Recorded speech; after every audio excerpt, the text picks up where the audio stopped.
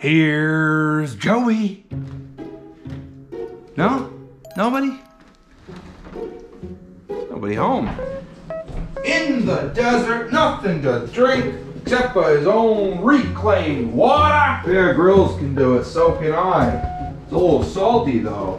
And don't get me started on the worms. I thought my cats had it bad. Oy vey.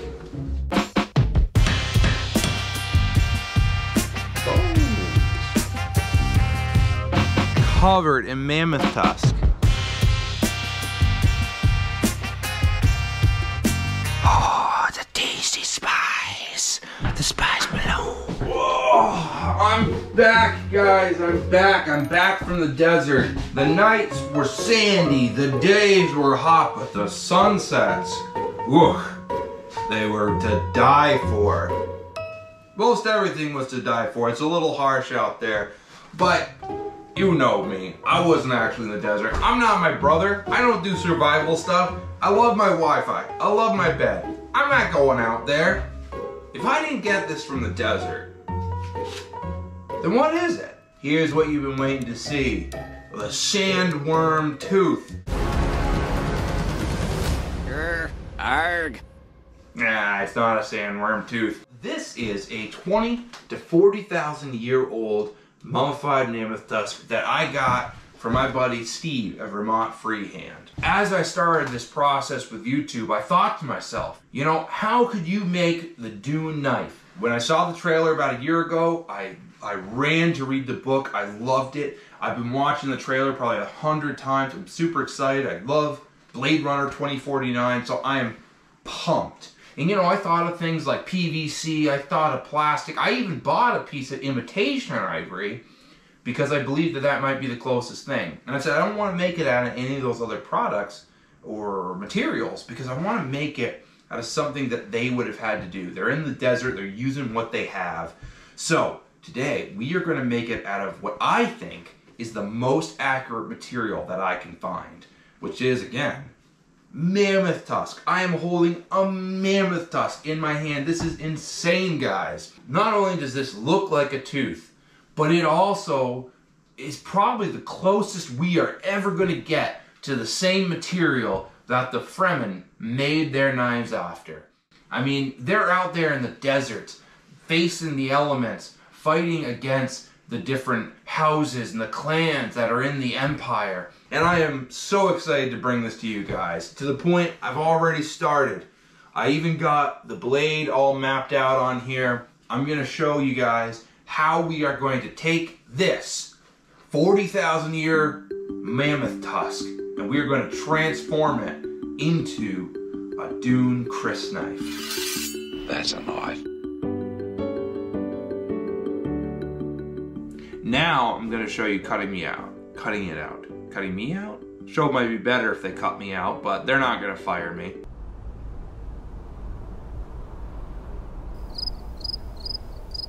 Anyways, we're gonna cut the knife out of the mammoth tusk.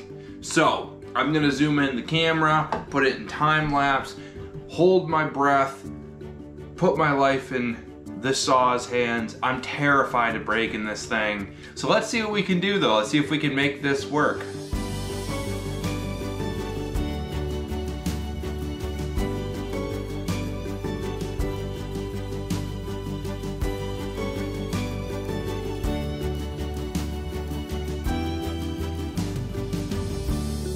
Here comes the detail work. I gotta take this thing and try to flatten it and get it the right shape. I'm recording, what do you want?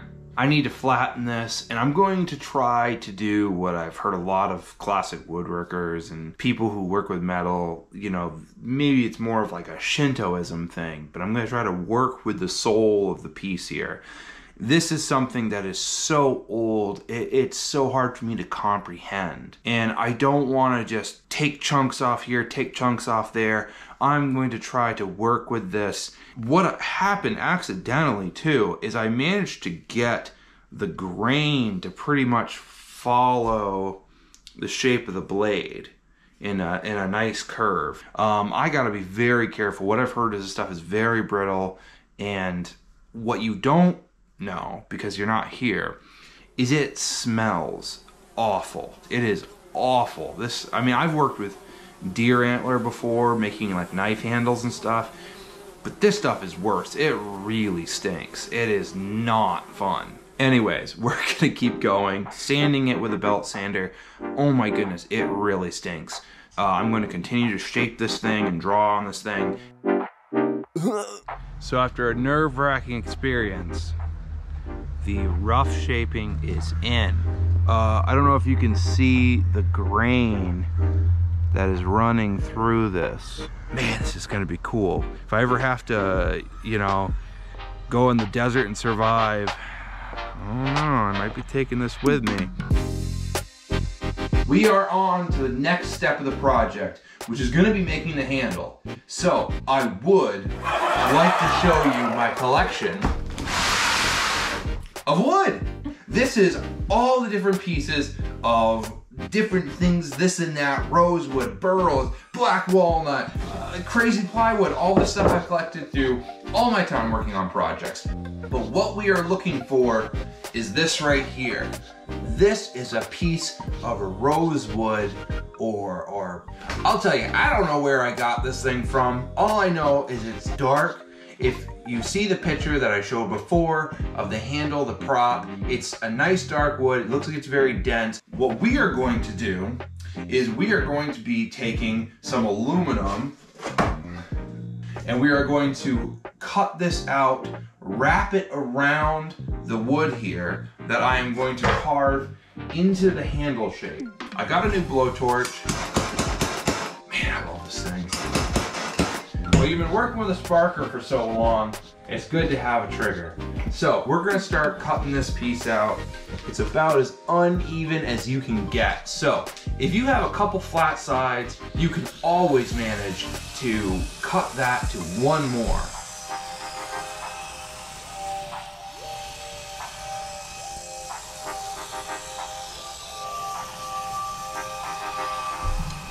So I am on to the next step. Uh, I've realized there's a massive sand pit in this, which all that means is there was some kind of inclusion or there was there was a bug in it, and it has formed its own little hole. Uh, a lot of people would say that let's get rid of it. You know, let's let's cut it out. I tend to disagree. Uh, when I would do briarwood pipe, uh, I love that kind of thing. It's natural. If I was doing a smooth pipe yes, you know, it's polished out, you want to see the grain, you can't use it. But if you're doing a rough pipe, then yeah, you can leave stuff like that in, and it's really cool. Why does, why hasn't he printed out a picture to size? And, you know, laid it onto here? Well, there's a simple answer for that. I don't have a printer. What I do have is a pretty good drawing hand and painter's tape.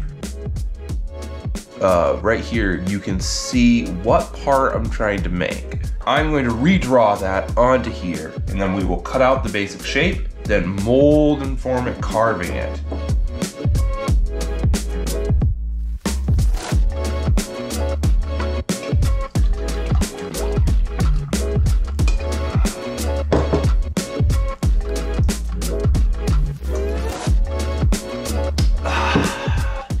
Nothing like day old coffee. So, I have the shape cut out. So the next step is for me to take my trusty Chinese die grinder that I got for $20 and goes like a bat out of hell. And I'm terrified for my life. That and a bunch of carbide, come over here, carbide bits. And as you can see here, there are some black lines. That is where the metal is going to be inlaid. So what I am going to do is I'm going to carve out almost like a shelf where that part will be thinner. So that way I have an area for the metal to sit against.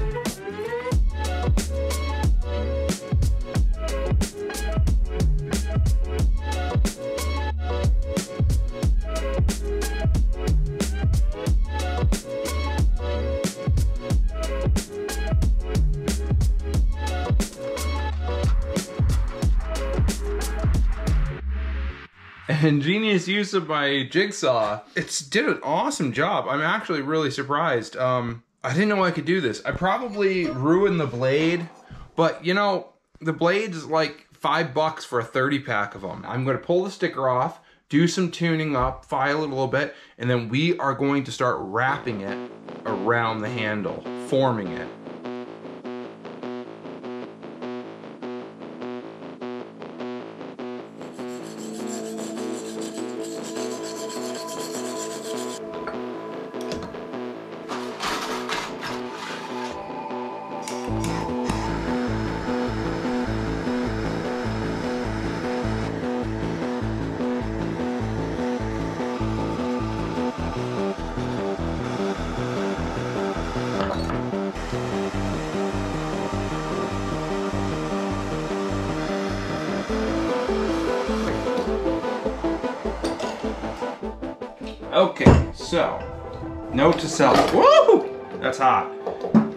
Self, make sure this is very securely placed. We are going to try again.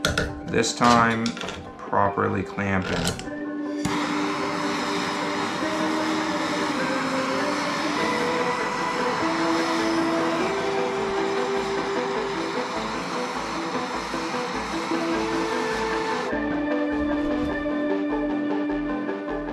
I think that's it. If that sticks well, I can shape it a little bit and then ball peen it. For now, I'm going to do some work on the handle, see if I can texture it a little bit, make it look a little nicer, because once it's in, it's in. I don't think it's coming out.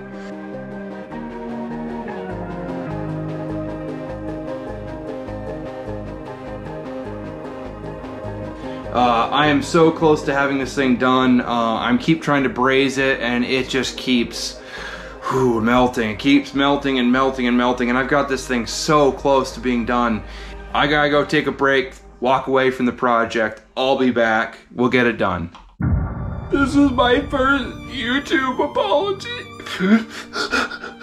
I made a mistake because I melted it. I melted it. I think it was just too thin and it melted. Ugh. Anyways, we gotta move past. I gotta move past it. I gotta move past it. Uh, so I made a bigger piece of aluminum. We're gonna braze this on and hopefully fill in all the holes of this. We're gonna get it. We're gonna blow torch it. It is all soldered on there. Oh man, that looks pretty good. With this, it's definitely got a pockmarked rough look. If I was to make this out of like a clay and then make a mold of it, we could definitely get it the way we want. And if I had a milling machine, I could mill out a solid piece of aluminum. But I think as far as the look, the kind of shaggy chic, bougie look, I think we got it. We're gonna get this fit up with the wood. That way it will all be one piece again. Here it is, guys the completed handle. Oops.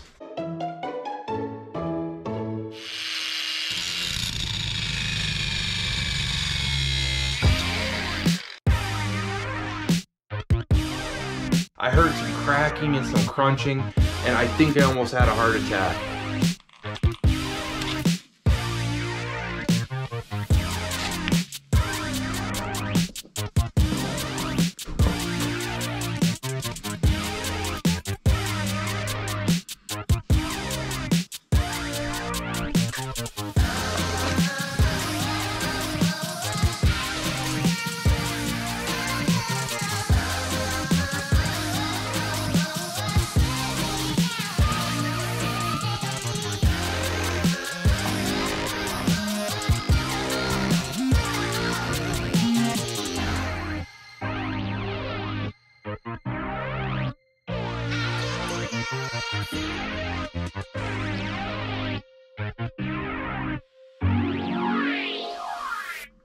That, all that color in there. It is just so neat. All these neat colors. Wow. Okay guys, next thing we're gonna do is I'm going to carve in the runes that we see in the prop right here. Oh yeah, those are pretty nice. Yeah, yeah. So let's see if we can recreate them. I'm gonna do my best. I got some microscopic carbide bits that I got from Harbor Freight this new store that opened up. I don't know if you've heard of it. Harbor Freight was founded in 1977 in North Hollywood, of all places. That is my recommendation. Go to Harbor Freight. I love you guys. Please sponsor me.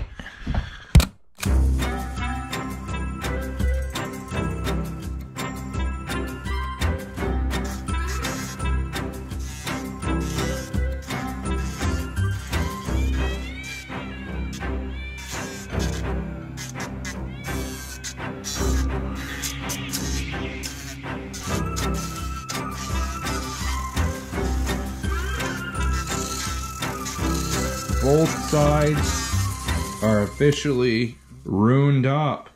Yeah, all the mythic runes, and they both look pretty good, but I think this side just looks a little bit better. I have cut down the shank. We are going to file it so there's also a cut on the sideways so that it fits into that little wooden disc. Then once that's done, we're going to glue the blade to the wooden disc and then the whole thing is getting drilled out in the handle and it's all going to go inside. And by the end of tonight, I'm going to have one knife. And then we could do some more detail work, some finish sanding, and then it's on to the sheath.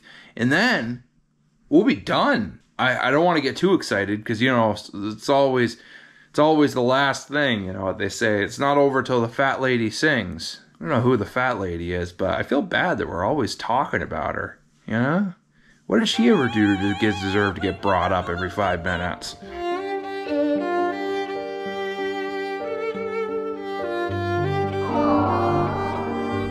Okay, guys, this is what rushing gets me not buying the same bit. I accidentally drilled through the side. When I drilled my hole, it got just a hair off. This whole side's like perfect. But this side, it made a divot.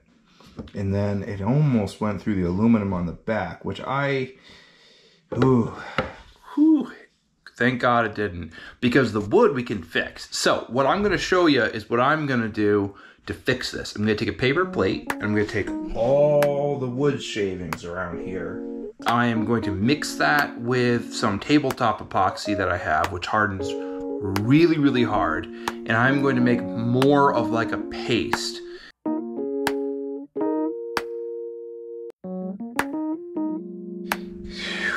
What a mess of tape. I should have thought of how I was going to make sure the blade was straight before I mixed up the epoxy and set it. I don't know, you think I got it? I'm not sure. Guys, it is the next morning here. Oh, restless sleep, restless sleep, worrying about it, wondering if it's gonna work out. What's gonna happen? Well, I have an answer for you guys. It worked. Oh my goodness. You ready? Look at this. This is the morning's work. The next step is going to be doing a little bit of wood filling around the guard here. And then we are going to darken this up with some stain, as you can see in the picture here. Darker near the guard as it transitions into this lighter material. The filling is done in all the holes. I think I'm gonna do the symbols and the handle. I am only gonna do one side. I'm gonna do the outside, which is this one. So they go to their breast, they do their forehead. Kind of like, uh, what is it? Uh, Attack on Titan? Or they're, but I think they're like this or something. Can you not see this soldier's heartfelt salute?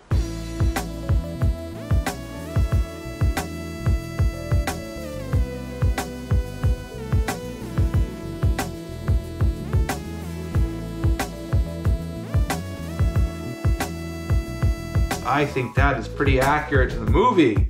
This is better than I'd ever hoped for. As, as he does in the trailer, you know, he, you know,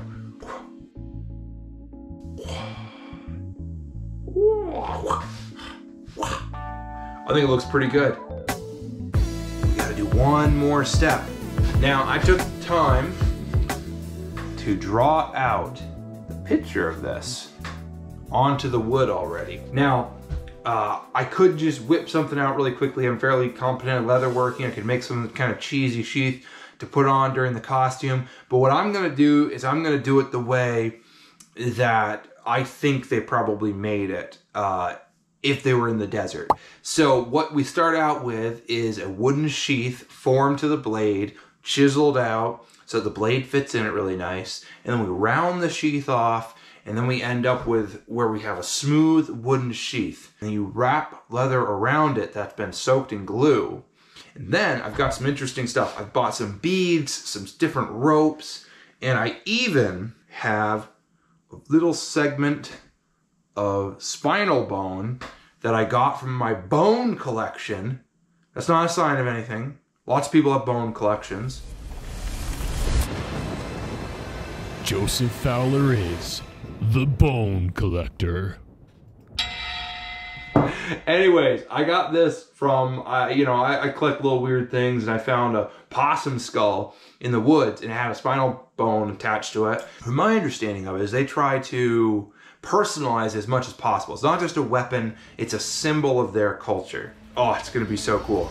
So cool, guys.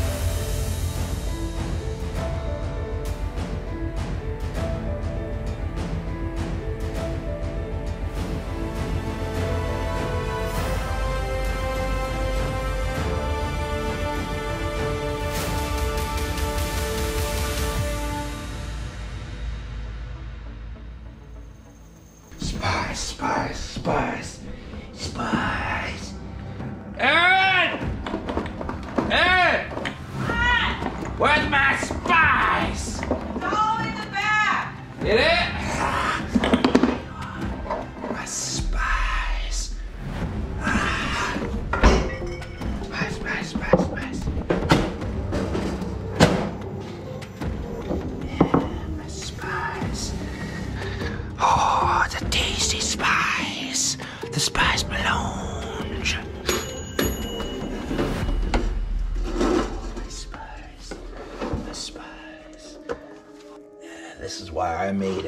This is why I made you, baby. Yes. Oh, man, it spreads this nice. Oh. The spice. Spice melange.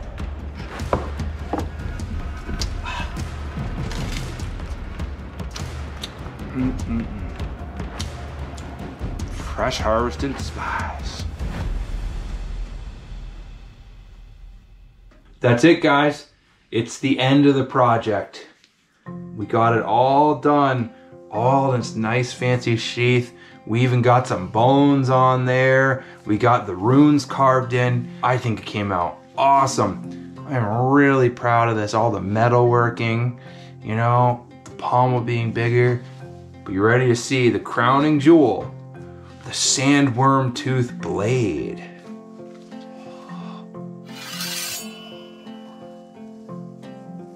Look at that, guys. Isn't that awesome? This thing came out so nice. Check it out. Look at all the grain on that thing. I am so proud of it, and I love the runes all on the handle and what we got on the back or the the beginning of the blade here. I can't even talk today. I'm so excited.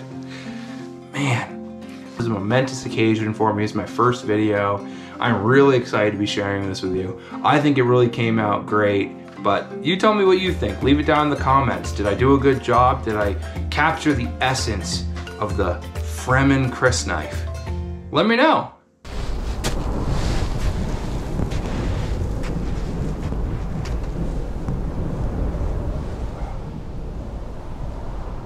And see you guys there. I'm just enjoying the desert sunset the end of another dusty day here on Arrakis. Well guys, it's been fun had a lot of laughs, we made a lot of things. It's been a good time, but many miles before I sleep. Here at Joseph Fowler Maker, we're always innovating, we're always making new things. I gotta get back to my home planet on Earth, start making next month's project, which is gonna be Wheel of Time. As we all know, the wheel never stops, the weaving of the wheel, always turning. This is not the beginning, but it is a beginning. Anyways, we go back to watching the sunset a little bit.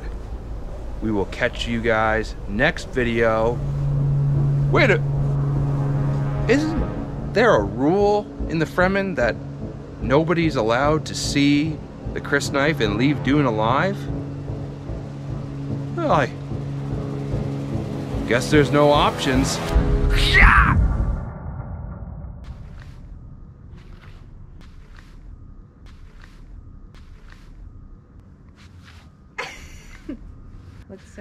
Timothée Chalamet. hey Zendaya. Okay, alright. Hello. It's knife to meet you.